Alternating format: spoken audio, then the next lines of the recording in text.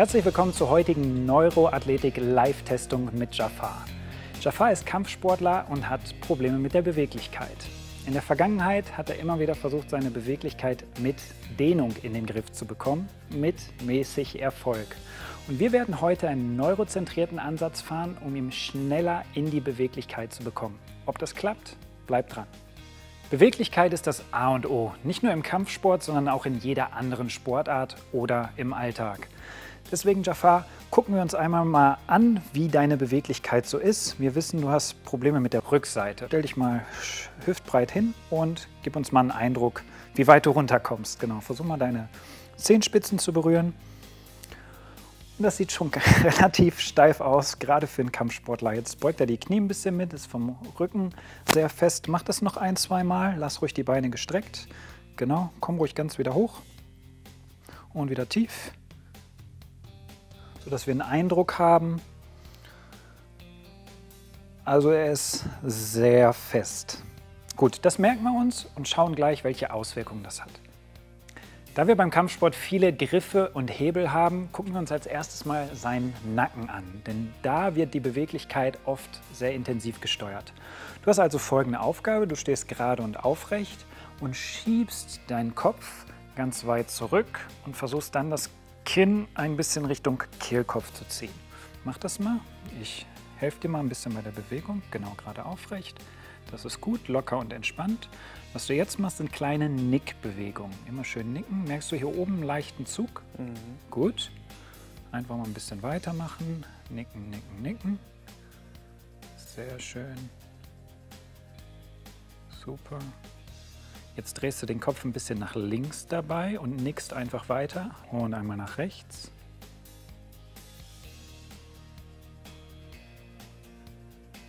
Sehr gut, wieder zur Mitte. Gut, Kopf nochmal gerade. Nochmal zurückziehen. Und jetzt nochmal nicken. Gut. Super. Und einmal lösen. Durchatmen. Alles okay? Gut. Und dann testen wir nochmal und schauen mal, ob sich was verändert hat.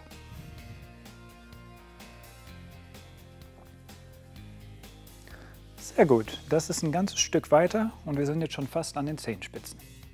Als nächstes kümmern wir uns um seine Augen. Er trägt Brille und hat eine sehr hohe Dioptrienzahl und kann ohne Brille nicht gut sehen. Und das fordern wir und kitzeln wir jetzt ein bisschen heraus aus ihm. Deswegen ziehen wir einfach die Brille ab. Wir haben jetzt hier einen Zettel mit verschiedenen Schriftgrößen. Den nimmst du bitte einmal in die Hand, streckst die Arme aus und versuchst mal die Schriftgröße noch zu lesen, die du noch erkennen kannst. Gar nichts. Okay. Gar nichts. Okay, die größte Schrift, die wir hier haben, ist 36. Okay, was wir jetzt machen, wir setzen ihm eine sogenannte Lochbrille auf. Die reduziert erstmal den äußeren Input, den wir über unsere Augen kriegen und macht dem Gehirn das so leichter, besser zu sehen. Beweg äh, oder unser Sehen hat dann wieder Auswirkungen auf unsere Beweglichkeit. Also wir versuchen sein Sehen jetzt erstmal zu verbessern, um dann im Nachhinein auch seine Beweglichkeit zu verbessern. Sieht cool aus. Alles okay? Mhm. Okay, dann nimm noch mal die Seetafel in die Hand, ausstrecken. Und man kann jetzt was erkennen. Und er kann was erkennen. Okay, welche Schriftgröße kannst du denn lesen? 36, 32 geht. 32 geht. 24 geht auch. 24 geht auch noch. Ja, das nächste wäre, glaube ich, 20, das ist schon zu klein. 20. 24 ist das letzte. Ja. 24. Möchtest du nochmal vorlesen? Dauerhaft verbessern zu können. Und das ist richtig, also er hat nicht geschummelt, das steht auch wirklich hier drauf. Sehr gut. Also die Lochbrille hilft schon mal, lass die ruhig mal auf, weil wir gucken mal, inwiefern wir dadurch deine Vorbeuge auch verbessern können und nicht nur dein Sehen. Also stell dich nochmal hin und versuch dich nochmal nach vorne zu beugen.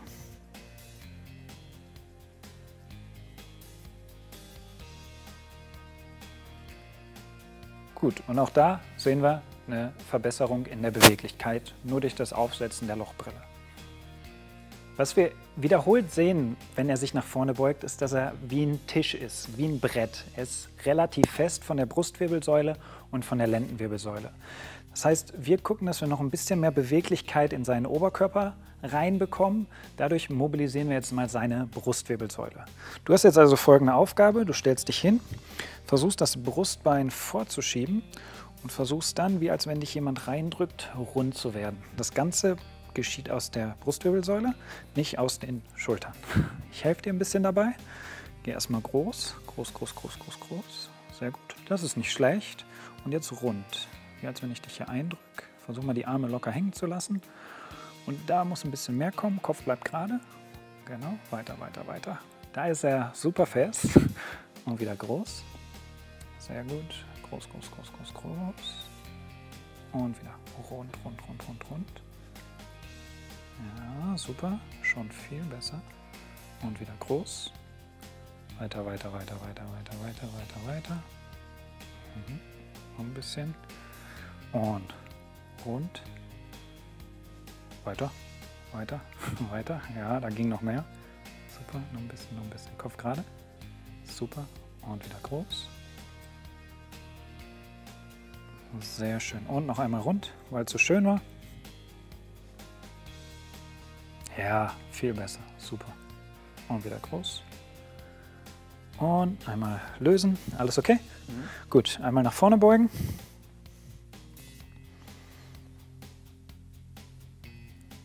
Sehr schön. Da haben wir die 10. Fast. Sehr gut. Da er einige Probleme mit der Rundung der Brustwirbelsäule hat, behelfen wir uns ein bisschen mit dem Widerstandsband. Und da möchte ich dich bitten, das nimmst du gleich oder ziehst du gleich auf wie ein Rucksack. Das sollte ungefähr zwischen den Schulterblättern liegen. Dann streckst du die Arme nach vorne, guck, dass das Band nicht wegflutscht und dann versuchst du die Arme gestreckt zu lassen und dich gegen das Band nach hinten zu drücken und dann vom Band wieder ganz gerade ziehen zu lassen. Das heißt, du bist dran, zieh mal auf. Als Sicherheitshinweis immer gucken, dass es genau zwischen den Schulterblättern liegt und nicht wegrutscht. So, jetzt einmal die Arme strecken.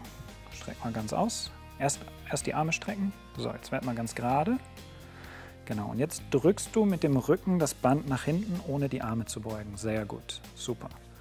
Und noch einmal wieder ganz in die Streckung kommen. Ganz zurückziehen lassen, super. Die Arme halte ich durchgehend gestreckt. Genau, die Arme bleiben durchgehend gestreckt. Und wieder nach hinten schieben. Super. Sehr gut. Und wieder nach vorne. Gut, ganz in die Streckung. Und wieder. Druck nach hinten. Atmen nicht vergessen. Nicht die Luft anhalten. Sehr gut. Da erzeugen wir deutlich mehr Bewegungsumfang, was schon mal ein gutes Zeichen ist. Atmen, atmen, atmen. Gut. Und einmal lösen. Super. Gut. Band wieder ab. Und dann darfst du dich nochmal nach vorne beugen.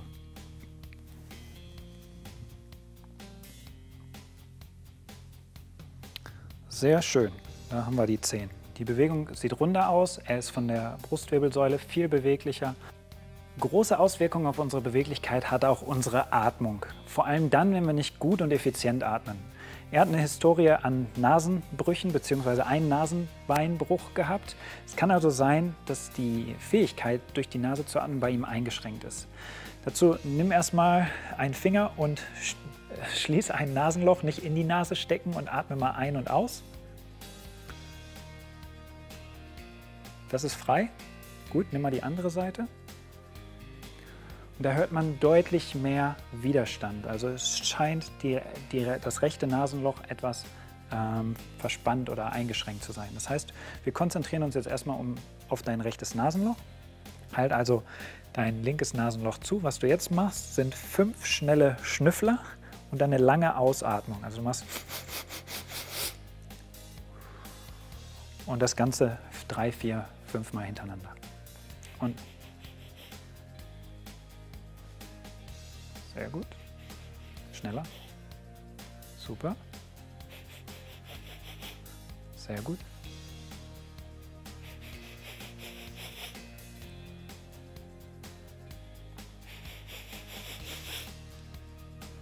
Sehr gut. Alles okay? Mhm. Nicht schwindelig? Nee. Gut. Es kann oft passieren, dass bei solchen Übungen der Schwindel kommt oder dass einem schwummrig wird. Da ein bisschen aufpassen.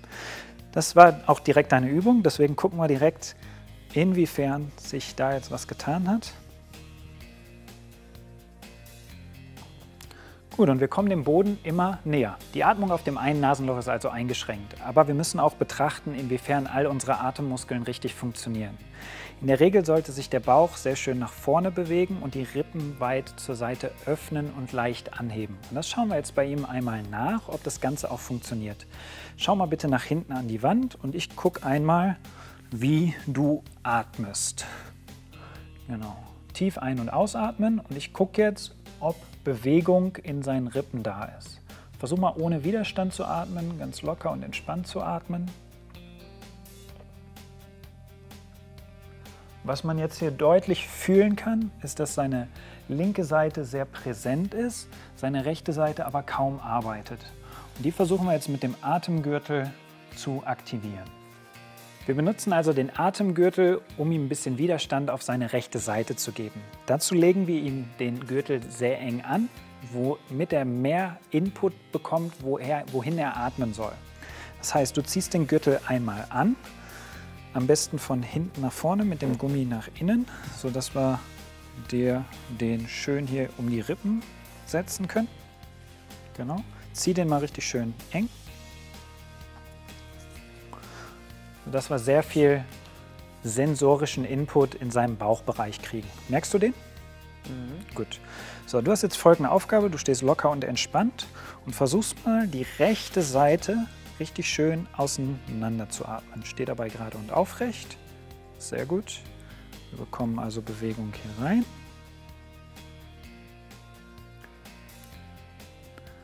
Dabei neigen die Leute dazu, immer mit sehr viel Kraft und Widerstand einzuatmen und auszuatmen. Versuch die Atmung locker zu lassen.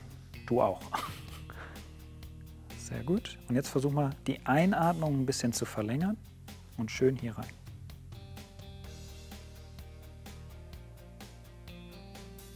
Weiter, weiter, rechts, rechts, rechts, rechts, rechts. Ja, super.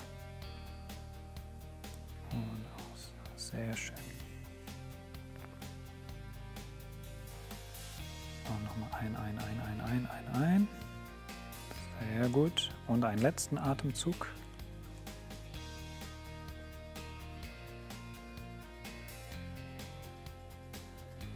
Und aus. Super, sehr gut.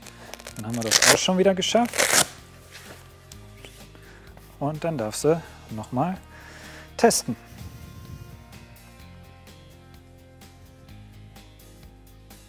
Und haben wir den Boden? Sehr gut, wir haben den Boden. Wir springen nochmal zu seinen Augen. Und zwar hat er jetzt folgende Aufgabe, mit dem Vision Stick eine Augenliegestütz zu machen. Das heißt, die Augen bewegen sich nach innen. Wann immer sich die Augen nach innen bewegen, aktivieren wir gewisse Reflexbögen in unseren Muskeln für Beugemuskulatur, in der Hoffnung, dass er auch gleich sich tiefer beugen kann. Das heißt, du hast folgende Aufgabe, du schaust dir oben auf den ersten Buchstaben, wir lassen bei ihm jetzt auch die Brille auf, weil er ohne nichts sieht und ziehen jetzt den Stick zwischen seine Augen und gucken, ob beide seine Augen auch nach innen gehen.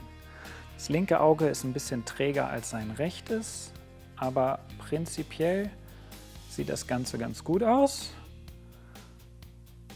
Wir achten hierbei noch darauf, ob die Augen anfangen zu drehen oder ob er sehr fest wird. Alles okay soweit? Mhm. Gut, eine machen wir noch. Gut, einmal lösen und dann darfst du dich nochmal nach vorne beugen.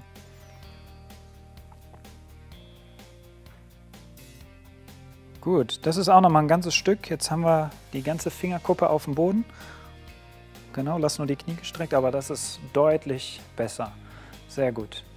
Wir haben jetzt einige Übungen herausgefunden, die für ihn gut sind. Das heißt, wir versuchen die Dosis noch mal ein bisschen zu erhöhen und versuchen diese Übungen zu kombinieren.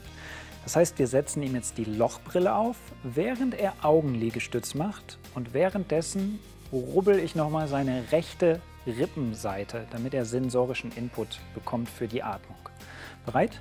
Kannst die Brille noch mal abziehen. Die ziehst du auf.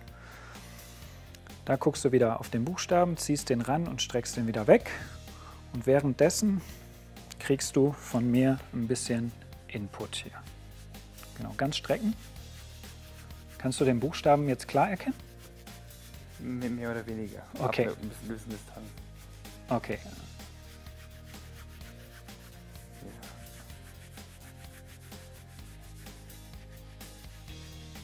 Super. Eine noch.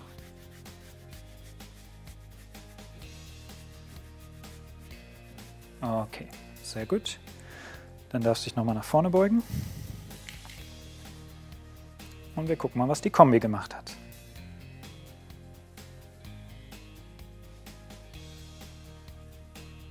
Sehr gut. Da haben wir alles zusammengepackt und da haben wir nochmal ein gutes Ergebnis von allen Stimuli zusammen. Wir haben gesehen, dass jetzt einige Stimuli super gut für ihn waren. Die Augen, die Atmung und die Mobilität des Nackens. Und das sollte er auch unbedingt in sein Training einbauen, um dauerhaft beweglich zu sein. Wie war es für dich, Schaffer? Ich muss sagen, also ich, ich bin sehr beeindruckt von den Übungen. Ich hätte niemals gedacht, dass ich durch das Augentraining und durch die Übung an dem Nacken so viel Bewegung hinzugewinnen kann und meine ähm, Beweglichkeit um ein so großes Stück verbessern kann. Ich hoffe, das Video hat dir Spaß gemacht. Wenn du Interesse an weiteren Videos hast, findest du die hier im YouTube-Kanal. Lass ein Abo da und wir sehen uns im nächsten Video.